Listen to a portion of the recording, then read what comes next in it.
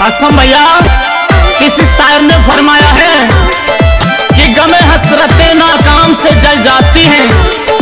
हम चरागों की तरह शाम से जल जाते हैं। जब भी आता है तेरा नाम मेरे नाम के साथ।